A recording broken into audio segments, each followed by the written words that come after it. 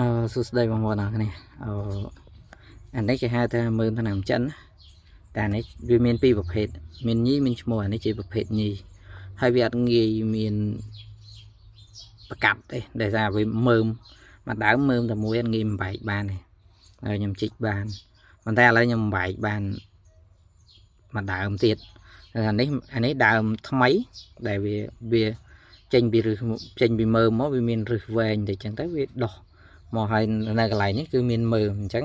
ប្រហែលជាមួយអាទិត្យអីទៀតវាអាចនឹងអឺលាស់កូនមកមកដើមទៀតអញ្ចឹងខ្ញុំបែកបានពីរហើយមានដើមចាស់មកដើមទៀតតែអត់តន់បែកបានទេអានឹងគ្រាន់ថារឹសរឹសវាច្រើនប៉ុន្តែវាអត់តន់ដោះដោយសារខ្ញុំខ្ញុំអាសាផ្លាស់ដូរដីវាបាក់កូនដែលដោះមកថ្មីអញ្ចឹងប្រហែលជាមួយអាទិត្យពីរអាទិត្យទៀតបានបានដោះអានឹងបែកដោះហើយក៏មិនតន់បែកបានដោយសារវាអត់តន់មានរឹស ចេញពីកូនហ្នឹងនេះហ្នឹងឡើងទៅមើល